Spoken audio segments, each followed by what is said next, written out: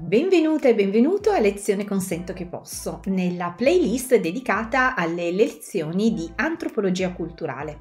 Se non l'hai ancora fatto, ti invito ad iscriverti al canale a cliccare sulla campanella per restare sempre aggiornata e aggiornato sui video che verranno pubblicati. Ti invito inoltre a seguire Sento che posso sui canali social Facebook, Instagram e Twitter. Con questa video lezione continuiamo a parlare di espressione estetica e affrontiamo il tema dell'arte tribale nel mondo occidentale. Nel corso del XIX secolo nascono in Europa e negli Stati Uniti molti musei antropologici ed etnologici. Viaggiatori, commercianti, etnologi portano infatti in patria una grande quantità di oggetti provenienti da mondi definiti primitivi e arcaici. In Italia, nel 1906, nasce il primo museo di etnografia a Firenze. I contributi principali sono del fondatore, Lamberto Loria, viaggiatore etnografo che tra il 1883 e il 1898 compie viaggi in Lapponia, nel Caucaso e nell'area del Pacifico. I criteri espositivi dei diversi oggetti e manufatti riflette in modo significativo le teorie antropologiche prevalenti in quel momento.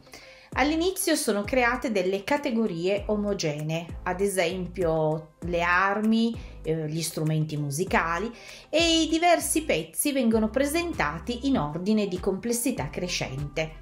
All'inizio la clava, per quel che riguarda le armi, fino ad arrivare alla balestra. Poi prevale successivamente una classificazione per aree culturali.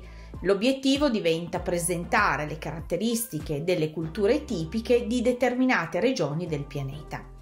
Dopo la seconda guerra mondiale vengono allestite delle mostre temporanee a tema e molto spesso i pezzi di un museo vengono integrati con oggetti provenienti da altri musei.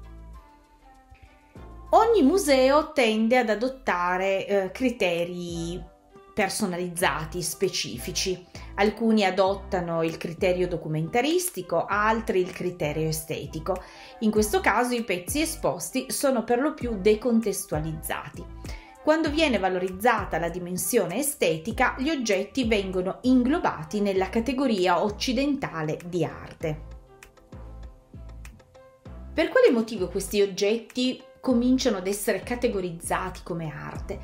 Essenzialmente due sono i motivi. Alla fine dell'Ottocento e all'inizio del Novecento i pittori e gli scultori di avanguardia cominciano a prestare attenzione agli oggetti provenienti dall'America, dall'Oceania, dalle Americhe, eh, quelli che vengono chiamati eh, les objets sauvages una seconda motivazione è che l'arte tribale comincia ad avere un vero e proprio mercato, che oggi vale diverse migliaia di euro.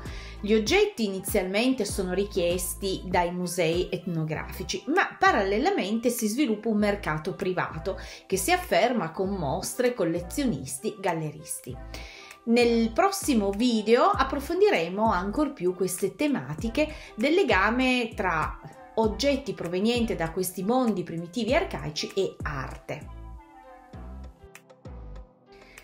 Ti ringrazio per l'attenzione che mi hai dedicato, iscriviti al canale se non l'hai ancora fatto clicca sulla campanella per restare sempre aggiornata e aggiornato sui video che verranno pubblicati.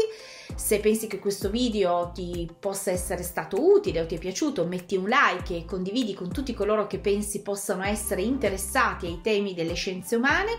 Seguimi sui social e aiutami a far crescere il canale. Continua a seguirmi. Ciao!